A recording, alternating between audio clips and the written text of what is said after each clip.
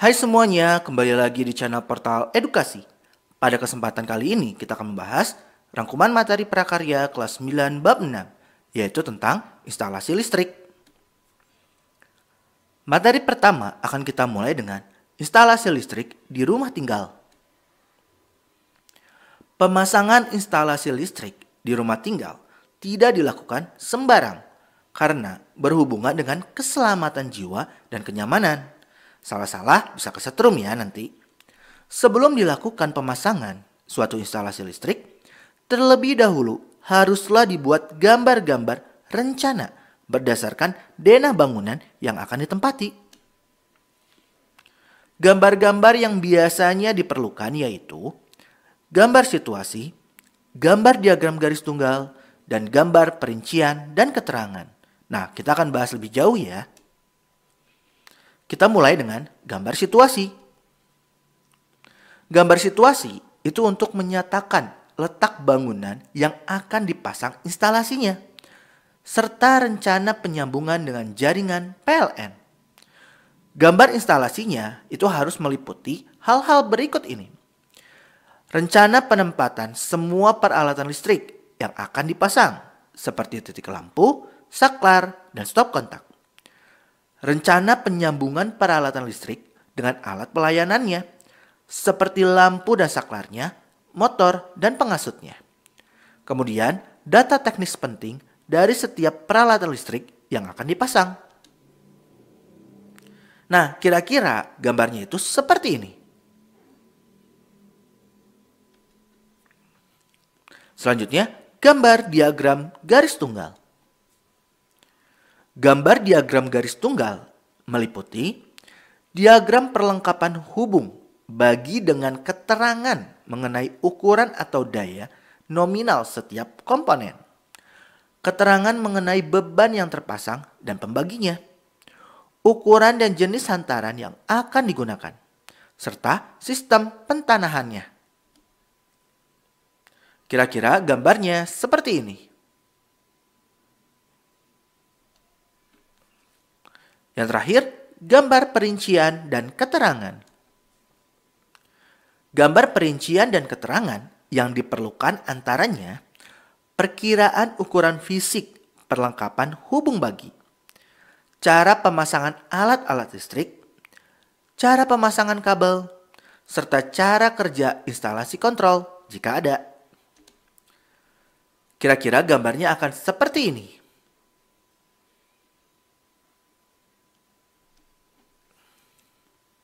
Kita masuk ke peralatan instalasi listrik rumah tinggal. Ada beberapa jenis peralatan instalasi listrik rumah tinggal, yaitu bergenser, pengaman listrik, saklar, stop kontak, steker, kabel, test pen, solder, gergaji, palu, dan gunting seng. Ini akan kita bahas satu persatu ya.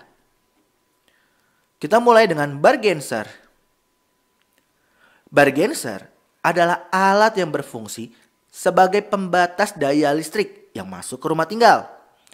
Ada beberapa batasan daya listrik yang dikeluarkan oleh PLN untuk pelanggan, yaitu 220 volt ampere, 450 volt ampere, 900 volt ampere, 1300 volt ampere, dan 2200 volt ampere.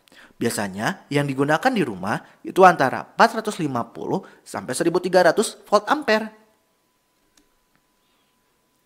Bargenser sendiri ada tiga bagian utama, yaitu MCB, KWH meter, dan spin control.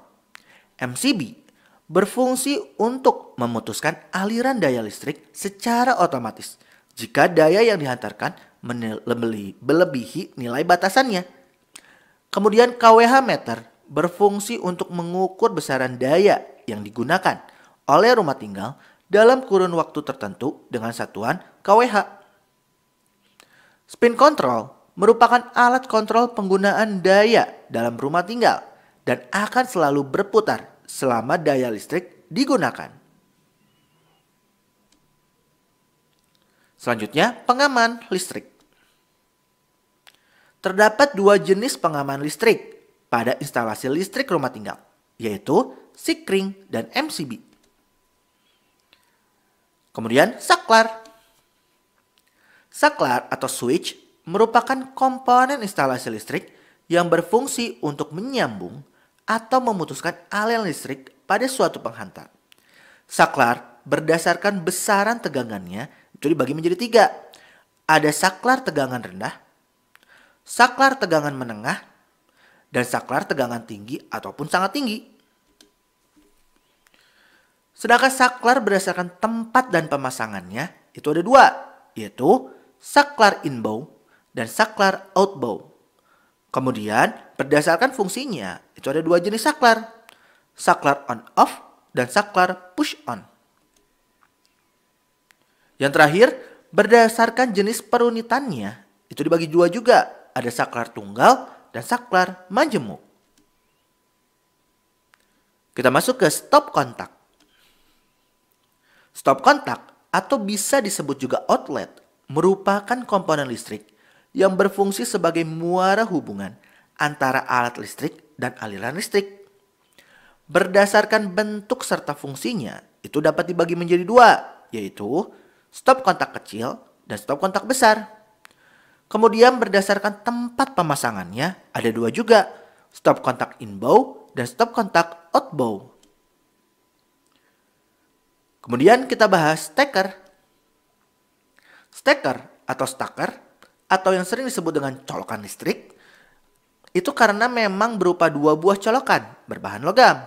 Nah, stacker itu merupakan alat listrik yang berfungsi untuk menghubungkan alat listrik dengan aliran listrik. Ditancapkan pada kanal stop kontak sehingga alat listrik tersebut dapat digunakan. Berdasarkan fungsi dan bentuknya, steker itu ada dua jenis. Ada steker kecil dan steker besar. Kemudian kita pelajari kabel. Kabel listrik merupakan komponen listrik yang berfungsi untuk menghantarkan energi listrik ke sumber-sumber beban listrik atau alat-alat listrik. Untuk instalasi listrik rumah tinggal, kabel yang digunakan biasanya berjenis sebagai berikut. NYA, NYM, NYY, NYH, MYO.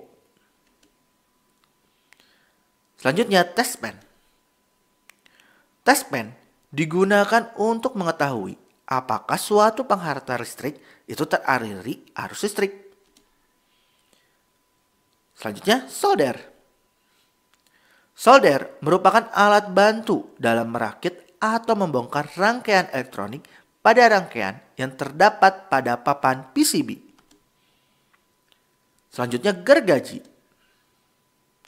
Gergaji adalah alat untuk memotong benda kerja. Nah, bentuk dan jenis gergaji tangan itu bisa dibagi jadi sebagai berikut. Gergaji coping saw, gergaji hand saw, gergaji cross cut saw, gergaji back saw, gergaji keyhole saw, dan gergaji hacksaw.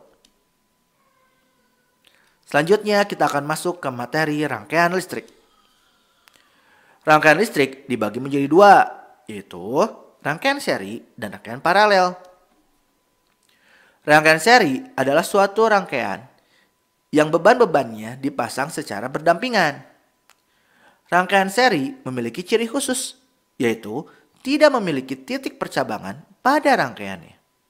Oleh karena itu, jika suatu beban tidak menyala atau mati, arus listrik pada rangkaian akan berhenti.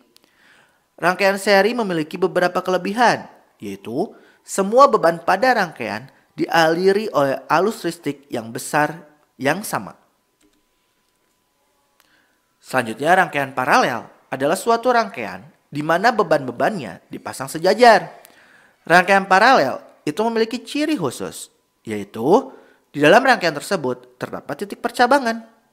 Oleh karena itu, jika salah satu lampu dicabut, arus listrik dapat mengalir melalui cabang rangkaian lainnya. Jadi jika mati satu, yang lain tetap menyala. Biasanya digunakan untuk pemasangan di lampu di rumah. Nah, untuk membedakan rangkaian seri dan paralel, kita bisa lihat gambar di bawah ini ya.